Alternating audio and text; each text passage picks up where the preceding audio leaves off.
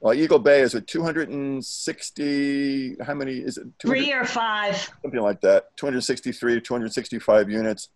Um, right now, the Eagle Bay is going through the draft environmental impact statement. Um, many of you and others have submitted comments or had submitted comments on that draft environmental impact statement, which now the, the applicant had to take and include in what they're going to call a final environmental impact statement, an FEIS.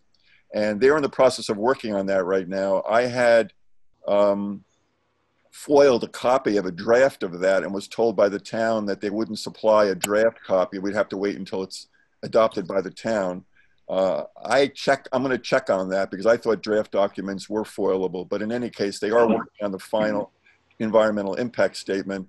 But as you many of you know, you know the problems there are uh, again high density on the river with very little access. They're talking about using that Tompkins Avenue underpass uh, if if the beach road floods out, which it does so often, as uh, an entrance and exit, uh, which can't even I don't have a fire truck would even get in there. So I just don't understand how the fire department and how the different uh, reviewing agencies can go along with this. So I had sent in a FOIL request for all of the reviewing agencies' comments from February 1st, was, which was before they actually started. So I got them all.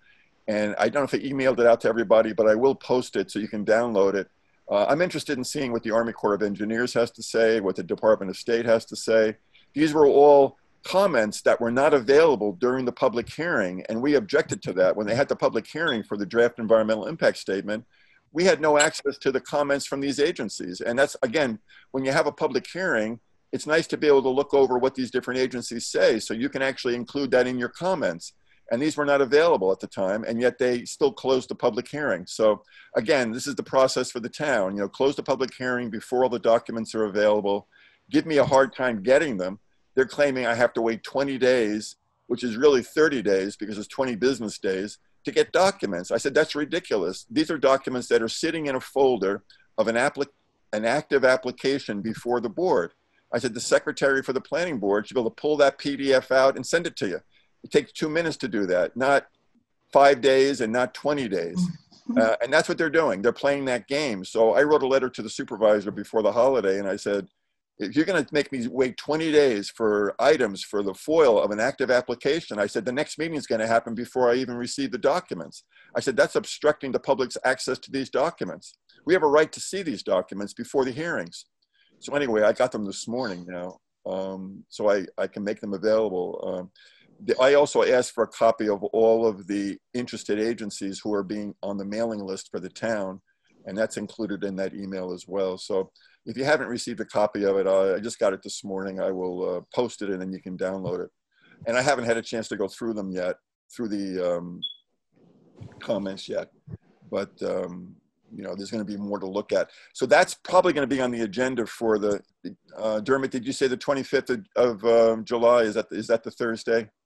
Um, the so, next yeah, twenty-fifth of July. That, yeah, it's the next, it's the fourth Thursday. What's the next uh, planning board meeting? I can look at the, um, the calendar too. Calendar is, um, is the fourth Thursday. Yeah. Okay, so it's the 23rd of July. The 23rd of July is the fourth mm-hmm. Thursday of July. That's when they're going to have probably Baymore back on the agenda. The public hearing will have been closed. They'll probably make a decision. They'll have it written. Just to give you an idea, when Baymore was before the board, just to go back to that for a minute, and Ira Emanuel was pushing them for a vote, they didn't even have their decision written yet. They had no plans of closing the hearing and actually making a decision that night, and that's what he wanted. So you could see who was running the meeting by the way it was handled. Uh, but it will be back on the agenda on Thursday, along with Baymore and I guess a few other items, smaller projects that are going to be before the board as well. So Baymore, I'm concerned about because um, the town changed the zoning to allow mixed use with commercial uh, use. They're going to have a restaurant and a store there, which was a good idea, but they allowed too high a density um, development for these condos, and they even increased that density when they changed the zoning a, a couple of years ago. I guess it was Mhm. that 2018. Mhm. Uh, they changed the zoning to allow instead of requiring a one-to-one boat slip for each condo that unit that was built, they said no, we only have one boat slip for every three condos that are built. So in effect, they are allowing a higher density um, building um, by, by allowing fewer, uh, by requiring fewer boat slips. Because there would have been a limit on the number of boat slips they could have built there. And that would have limited the number, limited the number of condo units. So we have a high density project there. Uh, fire access, I would think would be a concern. I'd like to see what the, the fire department has to say about it. And the police department has already said they're going to require two more police officers for that project uh, in, when it's done and also another police car. So, you know, what happens with these projects, as I'm sure you're aware, is uh, the costs that get pushed off onto the public are oftentimes not discussed um, while the project is being reviewed. And Space asked for what they called a cost benefit analysis and to see what the actual tax revenues would be for this versus the costs to the town. Uh, the sewer system is going to have to be increased in order to increase capacity. And I think, and my feeling is without proof, uh, this is the reason why the town is giving the uh, Eagle Bay developer more units is because they want more money to put into the town sewer system. It seems like a really way of backward way of thinking, in my view, uh, that you're going to overdevelop the river in order to help finance the sewer system. But I think that's what's happening here. Um, Two cops, know, that's 200 grand at least, right? I don't know. Minimally, minimally. I don't know what they're going to pay per unit for the sewer. But pensions and all that other stuff. Oh yeah, right. Well, then what you haven't considered is that the town highway department will have to buy new trucks specific to the road widths of what the parking will be. Ah. oh my goodness. They, we bought wing trucks. Larry's last purchase was wing trucks. You can't put a wing truck down there. You haven't got that kind of width.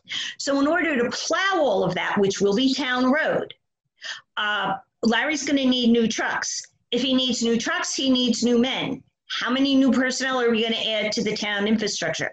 The other thing most people don't realize about the application is it states very clearly it will be gated. Yeah. Well, how can it be a public road if it's gated? It's a really good question, but that's what's going on. Yeah. the town, the town did push for public access on the river. That was their big push when they did. And the they told them no, George. Yeah. But they told is, them no. This is supposed to be public access. Some of the concerns that we have are the way people are going to feel coming into there and whether there really is public access. If you look at the maps, you know, not, without getting into the details of this, we're not going to have time to talk about the details. I'd like to have another call specifically on Eagle Bay, maybe before the next planning board meeting or just after it, because they're not going to have a they're not going to have a public hearing at the next meeting. They'll present their plans. Um, is the actual pathway that goes along the river dead ends on a parking lot. Originally, that pathway along the river was supposed to extend into whatever they built south of this project and become a real pathway along the river. But if you look at the plan, the current plan, the pathway dead ends into a parking lot. It's like that's where you end in a parking lot. So there's really no continuity for a greenway or a pathway along the river. It's also a fairly narrow pathway. Um, and there were some questions about the amenities that they would or wouldn't put in because they were balking about some of the stuff they originally agreed to. So we'll have to see how the map comes back, the revised map, and how the draft environmental impact statement has now transitioned over to the final to see what's going to be included. But concerns about high density, about access to the property. We know that uh, the county has no plans to make improvements on Beach Road. We know that floods out often. God forbid, say there's a fire there at the same time we have a major storm and that road floods out. What kind of access are we going to have through that little hole in the uh, tunnel underneath the CSX road? That's pretty much going to be the access route. Um, and people coming in, people trying to leave, or maybe fire trucks trying to come in. I don't see how that is workable. And I'm not an engineer, but it just seems to me that's a really um, a risky and not a very good example of our first development on the waterfront as an example of what we want on our waterfront. I mean, if, let me let me ask a quick question because sure. since you're talking about money uh, that the county's not going to provide to improve that beach road. That's what they said. Yeah. After Sandy Hook, there was a big, and I forget the name of the project, but I know Stony Point got a few million dollars. I thought. No, we didn't. With regards to the work that was supposed to be going on there. What occurred because I participated in that committee okay. against my better judgment. We spent 18 months, um, I'll think of the name of the project, came up with all kinds of ideas. and submitted them to the state. And what we've done to date is wasted money on additional engineering surveys. No work has ever been done. Um, it doesn't meet Governor Cuomo as he developed the project, and I'll think of it in a minute. Uh, he changed the criteria. Every time you thought you had it, he changed the criteria. And at the end, after we all participated, his last criteria was you if you were a business person you had no vote in the decisions because you were a business person. So therefore, you had to sign a release that said you would not do business in the town of Stony Point for three years. Hmm. I hate to tell you how think- many of us had businesses in the town of Stony Point. The I- program was woefully misrepresented by his representatives. was that the New York Rising program? That's the The one I'm community- talking about. yes. hmm And the work done out of that was incredible. Do you know they don't even look at it? They've got it buried. Wow. I Got it thought, buried. I I mean, I can send it to Yeah. you, show you There's where it is on also- their website. Yeah. no, I have it. I think I have the document. I thought, I thought the town had gotten some money. Not a penny. There's also a um, question about, well, originally, I guess, the, as part of that process, they had asked the neighbors along Beach Road if they wanted to have that road improved, which would mean raising the road up. And of course, they felt that a lot of that drainage would end up in their yards. and that- hmm uh, And it they were would. not- They were not interested. So the town's opinion, uh, after talking to the supervisor, it appears the town's opinion is, well, they didn't want that work done. Now we don't have the money to do it. And I'm saying, well, how can you improve 263 or 265 condo units right down the road there uh, on a road that now floods out all the time with no plans to improve it? Is that going to become a cost back to the taxpayers? It is a county road. I don't know if the county consider paying for that, but we'll all end up paying for it in some way. But does that become a requirement now? after No. built? What they did, if you remember in the draft environmental impact, is that they said they had nothing to do with Beach Road. Yes. that the only part of the road they had to worry about was that little connection road from Beach Road in. Hudson That literally it goes right past uh, Ludani's house. That's the only public road section. And in fact, they claim they would have no impact on county roads. Right. Their big impact was to put stop signs at that intersection of Tompkins. Mhm. That was the, the, the result of the traffic, so-called traffic study. Um, I, I said, you did a traffic study. Did you do a traffic study with the idea that Beach Road would be flooded and there'd be nowhere to go that way? You'd have to go through Tompkins Avenue. The supervisor Well, they under the claim, that they, they that could actually use take- Tompkins Avenue. George, they're going to take the secondary entrance off of Oval Court, Yeah. which is right on the other side of the AT&T right-of-way. Yes.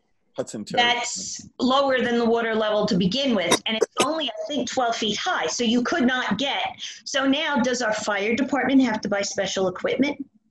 there is a underpass, as Susan says, a little north of Tompkins Avenue, um, going into what I think is called Lincoln Oval or that area. Mhm. One of those This is a areas, four, this is a four-story building, right? Yeah, at least. Okay, so how are you gonna get a hook and ladder? Because if you have a four-story building, you're gonna have to have the fire equipment Oh, to yeah. service that if this thing goes up, you know, in the middle of the night. And getting a, getting a hook and ladder through that little entrance, It will not happen on either side. You can only bring a hook and ladder in from the Grassy Point side. Right.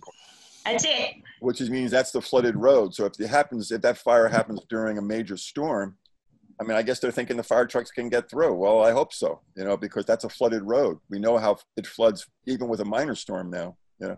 And I guess that other road, beginning to say the other road just north of Tompkins Avenue, they want to dig that down, what, three feet or something like that, in order to make the road uh, height. That's the little road.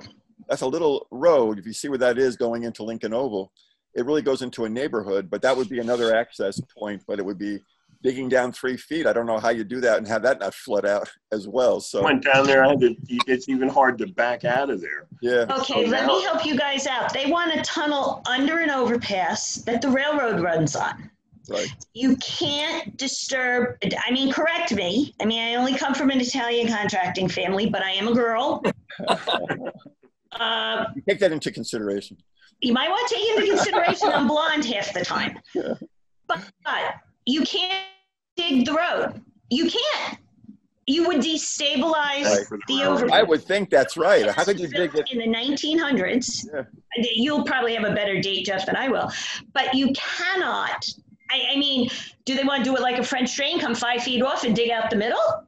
You can't do that because a the water level in that area is much higher, the groundwater, and b to disturb underneath the underpass, I think would destabilize the overpass, the railroad overpass. I think that's I'm right. If pretty you dug that road out the same width going down from the walls, I think you're right. I think why wouldn't that disturb the actual stability of that wall? Because now Not you're, disturb it, totally destabilize the whole thing. and, and would CSX even go along with that? Wouldn't they have something to say? That's their trestle. isn't it? Yeah. I think Greg Julian's joined us. Greg, are you there? He's still muted. Let me see if I can take him off. Uh, ask time. And you know what the worst part of this is? Come. Welcome, welcome, Greg. Hi, Greg. We need have an emergency management plan. Huh? There is no emergency management plan. hmm There isn't any discussion of one. There isn't one included in this plan. Um, there was a man who died of a massive heart attack. Um, I don't think it was Flo- what was the one that Beach Road flooded? I, I, I'm going to get them both. Andy, But he died. He died on Wayne Court's property. Mm.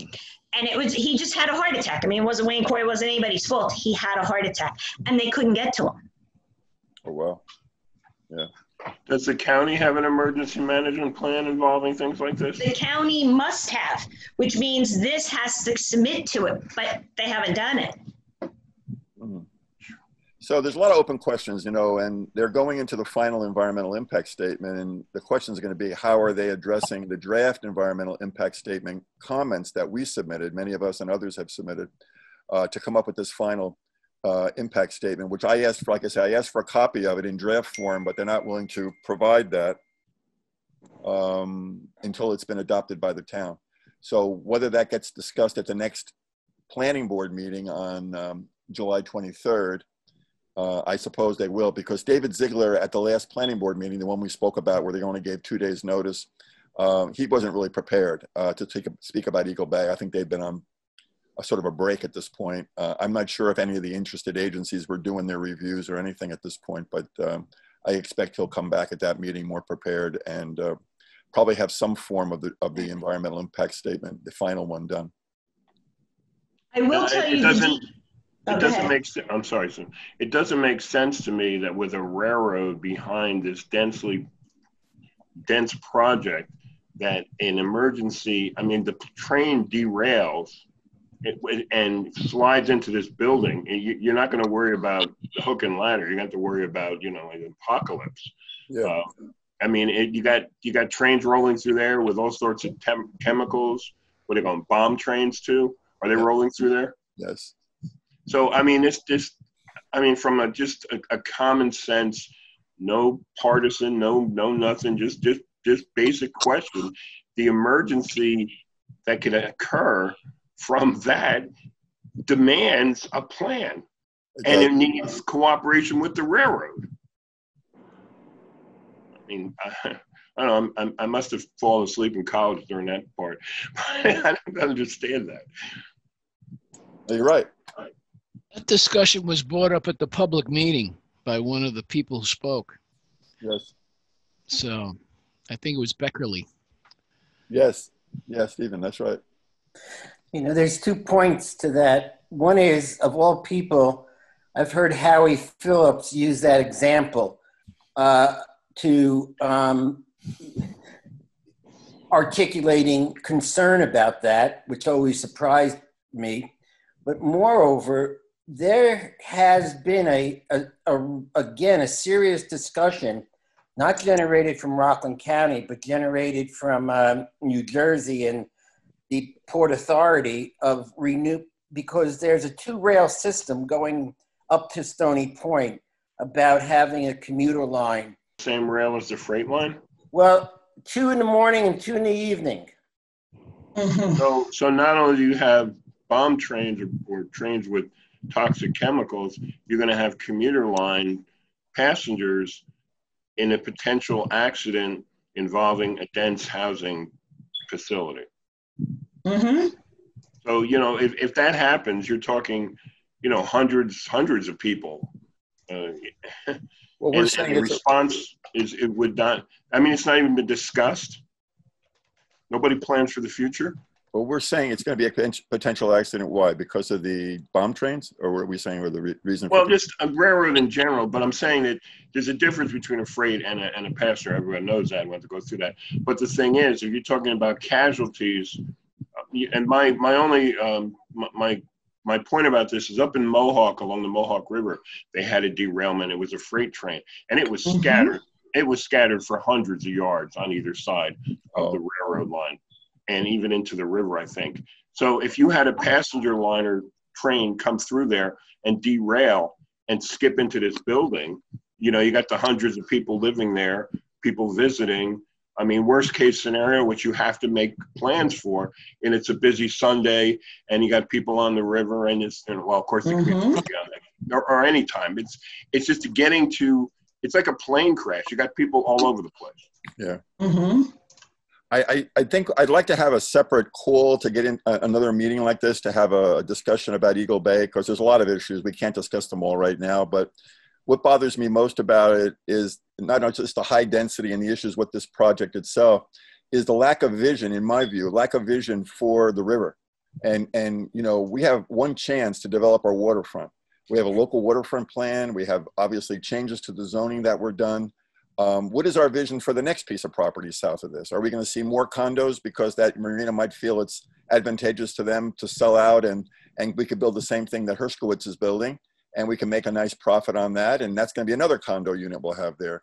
Uh, what are we going like to get? Straw or or uh, Orangetown, uh, the one on the river there? We should have a moratorium. I said to the supervisor, we should have a moratorium on our waterfront right now and re-examine those zone changes they made because obviously they increased the density by changing the number of uh, boat slips. But now the thing is, another developer could come in potentially in Patsy's Marina, I think they call it, right, that's south of there, and do Mhm. exactly the same thing. Uh, and is that what we want? You know, maybe we want restaurants. Maybe we want some of the kind of commercial uh, revenue producing because we know that bringing in people. We already know the police departments talked about two car, uh, a car, and two more police officers.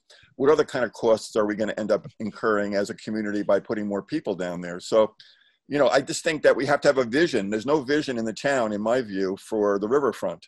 Um, they just go piecemeal. Whoever comes to them next with something, it seems there's no real overall plan. And I think I told the supervisor this is nothing new. You know that we should have a meeting, a town meeting, not a not a, a meeting on a project, but a town meeting to talk about our our future of our waterfront, and put a moratorium in place. They can do that and redevelop our our master plan for the waterfront to come up Well, with I- what we want down there, not what the next developer comes in and wants to build.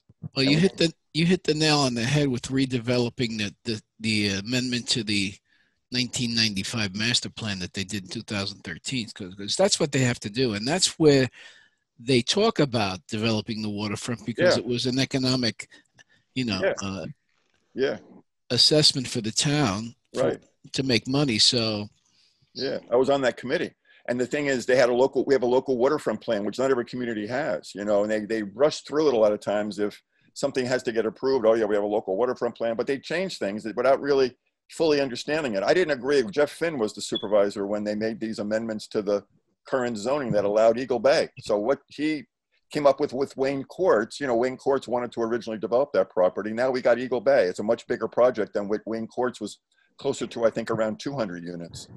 So we got something very different in, in Monahan by changing the number of, of uh, boat slips to condo ratio, increased that by another 30% in my view. That's the way it happened in the end, because uh, by allowing them to build more condo units without requiring boat slips, that's in effect what we got a 30% increase. Uh, and that's why we're up to 265 or whatever.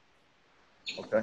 Um, unless anybody else has something else to say about Eagle Bay, there's more documents which I will make available that I just got from the town, the foiled documents so we can do a little more reading and then have another maybe another meeting on this uh, maybe even prior to the next planning board meeting or around that time I'd, I'd like to have a little more information from some of the interested agencies and those are the documents i was sent Well, you Um, got the COVID thing still going on, and it's not going to be over by the fall. It looks, you know, things are being shut down, and this is, you know, when they're not being looked at over their shoulder, you know, anybody, and this is, it seems to me that this is, you know, I, and I would pursue, I, you know, like I said, I don't know what the, the rules and reg or open public meeting laws, but the, it- you know, there, there's not going to be input, it, it looks like. It's I'm concerned about, through. And I'm concerned about these Zoom meetings for major public hearings. I mean, you know, things can slide through. People are not necessarily always used to using this technology. Uh, oftentimes, if you have a lot of people in a meeting like this, you don't know there's how many people are in the meeting and who they who are those people. Uh, is it an effective way to see graphics on this screen? What they try to show maps.